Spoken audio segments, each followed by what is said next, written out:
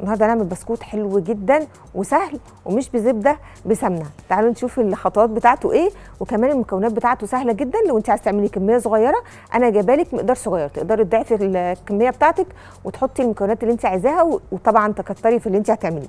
طيب معانا إيه في المكونات بتاعتنا النهارده؟ معانا ثلاث كوبايات إلا ربع من الدقيق المنخول يعني في حدود 400 جرام. ومعانا كمان آه، كوباية من السمنة طبعا مش سايحة ومش ماسكة في الوسط. يعني يعني ماسكة نفسها ومش سخنة خالص. تمام؟ آه يعني في حدود آه 200 جرام. تمام كده؟ ومعانا كوب ونص من السكر البودر ويا ريت وإحنا هنقول كام تركه كده. أنا هقول المقادير الأول وأقول لكم كام ملحوظة عشان خاطر البسكويت بتاعك يطلع حلو وهش ومقرمش وما يبقاش فارش منك في الصينية. تمام كده؟ طيب.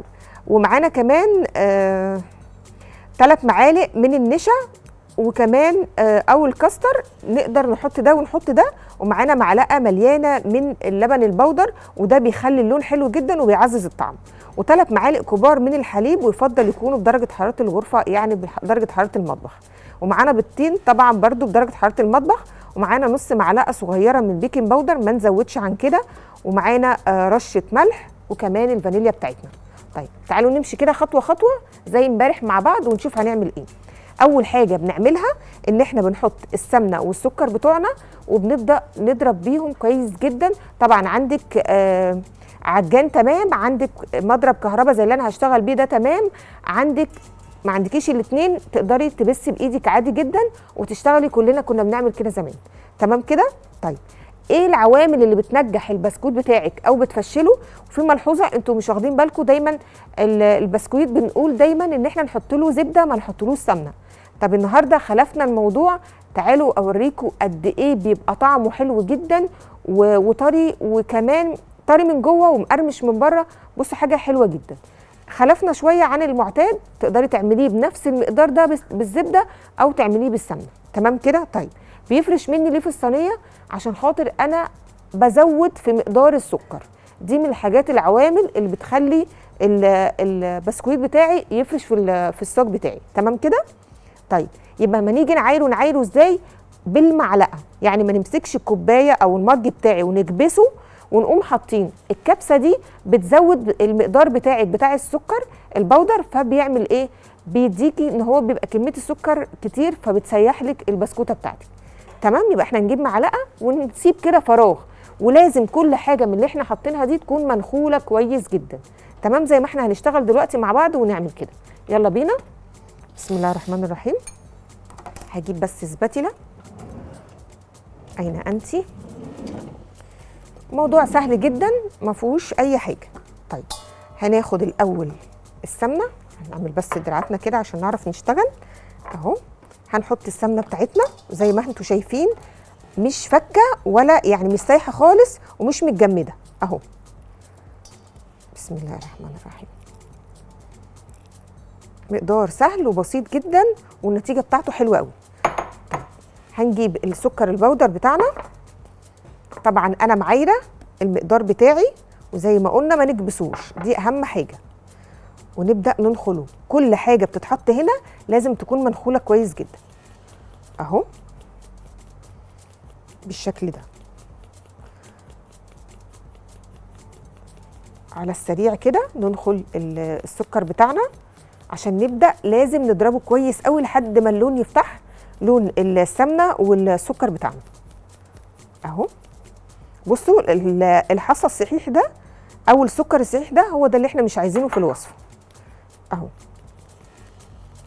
نخلص بقية الكمية بتاعتنا ونبدأ نشتغل بالمضرب أول حاجة طبعا هنقلب بالسباتيلا عشان خاطر ما يعفرش معانا ونلاقي السكر كله طلع. لازم ندرب الأول بأي حاجة كده سباتيلا أو معلقة خشب أو أي حاجة. أهو. بصوا السكر ده بقى اللي أنا مش محتاجاه. بس كده. تمام كده؟ نشيل ده على جنب ونجيب السباتيلا بتاعتنا ونبدأ نقلب كده بالراحة. أهو. لحد ما ندرب كل الحاجات دي مع بعض. وبعدين نبدأ نشتغل بالمضرب اليد الكهرباء. أهو. طبعا آه، موضوع إن إحنا نعمل البسكويت بال بالسمنة ده جديد شوية أو في بعض مننا ما بيعملوش. دايما عارفين البيديفور وال والبسكويت والحاجات دي بنعملها بالزبدة. جربوا الوصفة دي هتعجبكم جدا. وطعمها مختلف تماما.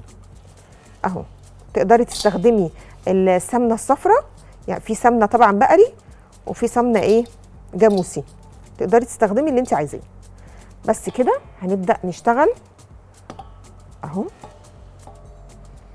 ننزل كل الحاجات دي محتاجينها ونقول بسم الله.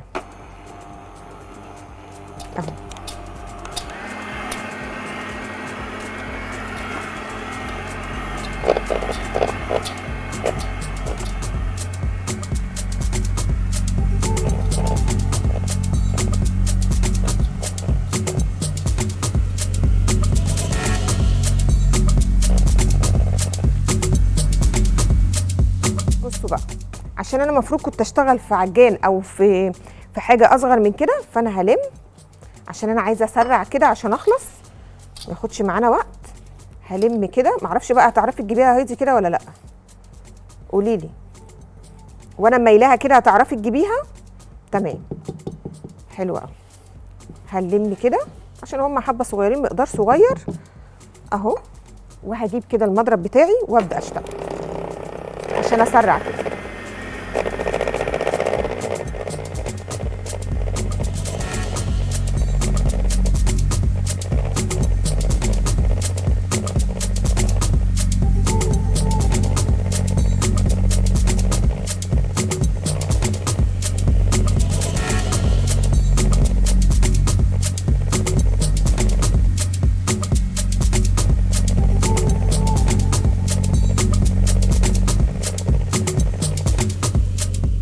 طبعا إحنا لو في البيت هنستنى شوية كمان نضرب ضربتين كمان كده بالمضرب. أنا هلم تاني وهبدأ وأنا شغالة هشغل المضرب تاني. بس المرة دي هننزل مع بعض تدريجيا البيض بتاعي عدد اتنين بيضة معانا وبدرجه حرارة المطبخ. تمام كده؟ أهو. يلا بينا. أنا مش عارفة همسك كده إزاي هنحط واحدة الأول. ما تفصلوش بقى أنا هفضل إيه شغالة. أدي واحدة. بسم الله. بسم الله الرحمن الرحيم. يلا.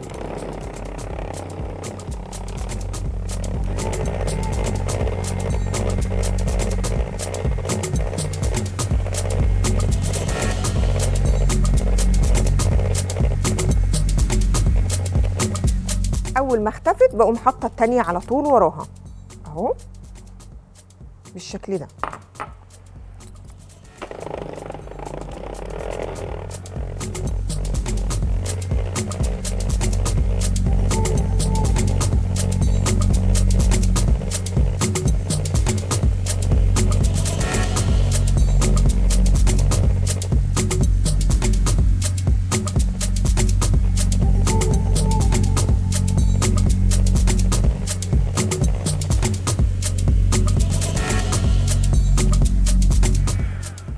بس كده. كفاية ضرب جدا كده بالنسبة لي. لو في البيت زودي ضرب شوية. تمام؟ هناخد بقى كل المواد الجافة. هنجيب برضو المنخل بتاعنا ونبدأ ننخل الدقيق بتاعنا تدريجيا. أهو شوية بشوية كده. كل الخطوات دي بتفرق معاكي في البسكوت بتاعك وبتديكي نتيجة حلوة جدا. طبعا أنا والمضرب كان شغال مش عارفة أتكلم عشان مش هتسمعوني. تمام؟ أهو. بصوا واحدة واحدة كده ما يعني مش هاخد منك عشر دقايق في كل حاجة. كمان بال... لما تحطيه في القمع علشان تبقوا عارفين الطريقة دي طريقة القمع يعني مش طريقة ال- المكنة العادية بتاعتنا بتاعت زمان. عشان بتبقى سايلة شوية زيادة عن المكنة المكنة بتبقى قاسية شوية يعني مش خفيفة زي دي. تمام؟ أهو بقيت كمية ال- الدقيق بتاعتنا. بصوا حلو جدا وطريقة سهلة والمقدار صغير. لو انت لسه مبتدئة هتعملي بمنتهى السهولة. أهو. ماشي؟ هنجيب برضو النشا بتاعتنا وهننخلها. كل حاجة هتدخل هنا في الوصفة لازم تتنخل كويس جدا. أهو. بالشكل ده. بس كده أنا عايزة بس فيه هنا شوية نشا لازم أخدهم ان أنا عاملة المقدار بالظبط. ما ينفعش نفوت أي حاجة من دول. أهو. بالشكل ده. بس كده. دول الحاجات اللي إحنا محتاجين ان إحنا ننخلهم ونبقى متأكدين إن كل حاجة اتنخلت كويس جدا. طيب هنعمل إيه بقى هنا؟ هنحط اللبن البودر وهنحط كمان ال baking powder وهنحط رشة الملح أهي والفانيليا بتاعتنا. تقدري تعمليها بنكهة البرتقال. أول حاجة هلم كل الكلام ده مع بعضه الأول. بصوا بالراحة جدا. أنا مش عايزة أعجن أنا عايزة ألم العجينة أو ألم الحاجة بتاعتي اللي أنا بعجنها دي. أهو. بالراحة جدا. شايفين؟ هشة وحلوة جدا ولونها فاتح وتقدري تفتحي عن كده كمان. أهو. عايزين نستبدل السمنة بالزبدة؟ مفيش مشكلة. في إيدينا نعمل كل ده. أهو. تيجي طيب نحط اللبن ونعجنها في الفاصل؟ إيه رأيك في الفكرة الحلوة دي؟ طيب هننزل بقى اللبن بتاعنا. أهو. بسم الله.